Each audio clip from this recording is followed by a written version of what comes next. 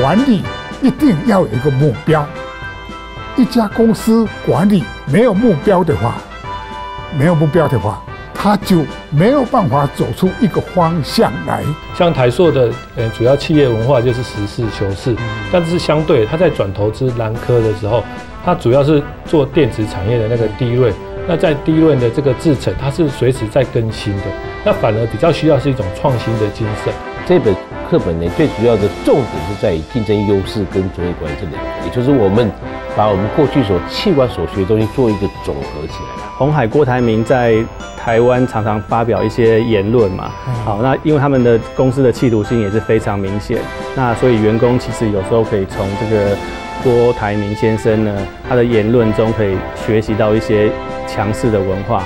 我们不但流程要改造，我们不但兼顾顾客的需求，我们不但注重到我们这个财务指标，当然最重要还有公司能力的什么东西再造，能力的提升。当我部署是非常不成熟，就是他能力不强，工作意愿又低落，那这种部署我在带领他的时候，我如何让我的领导绩效还是能够维持一定的水准？那我可比较适合的一种领导风格就是告知式的。现在这个时代是一个知识经济的时代。那在知识经济时代，你的内外在环境的冲击，跟你本身的管理要有怎样的阴影？有一个工作特征模式可以来解释这个部分。啊，工作呢必须要符合有多样性，要有完整性，要有重要性。